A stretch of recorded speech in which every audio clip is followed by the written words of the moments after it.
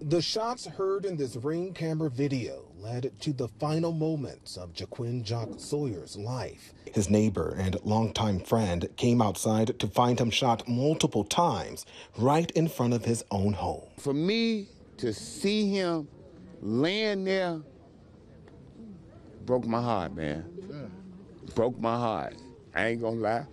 It broke my heart. Video shows at least two people dressed in dark clothing running away from the scene at Mango and Wabansia in North Austin Monday night. The 44 year old chef was taken to Loyola Medical Center where he died. Today, at the spot where crime scene tape surrounded Sawyer's home, Thank you for the life, Thank you, Jim. Brother Jock. is where loved ones gathered to remember his life that was ripped away just months before his only daughter graduates college. He'll miss that. He'll miss walking her down the aisle. He won't experience her first child being born. She's been cheated.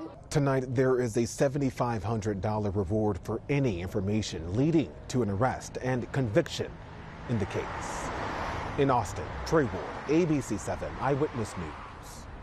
All right, Trey, thank you for that. Next up here tonight, a deadly police chase in Wisconsin. Two 10 year olds killed. Plus, Stellantis is now rehiring dozens of workers that were laid off at its Belvidere plant after this year's massive strikes. Hello, everybody. I'm Cheryl Burton at the White House. Coming up later on in this newscast, First Lady Dr. Jill Biden takes us inside for an exclusive look of her vision to decorate for the holidays that was inspired by this year's theme Wonder, Joy, and Magic.